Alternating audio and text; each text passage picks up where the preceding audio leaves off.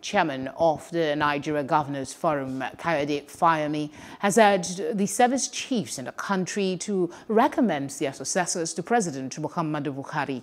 The recent horrific killing of at least 43 rice farmers at Zabarmari in the Jere local government area of Borno state had sparked fresh calls for the sacking of the country's service chiefs by the president. However, Fayemi said it is not about the sacking of the service chiefs, but it is about transitioning them out of their current responsibilities into retirement.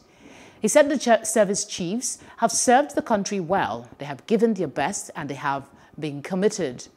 He urged that there is no retirement. He argued rather that there is no retirement age. Still, the military has protocols, the military has processes, and from time to time, one of the real consideration is a renewal after leadership. Hello, hope you enjoyed the news. Please do subscribe to our YouTube channel and don't forget to hit the notification button so you get notified about fresh news updates.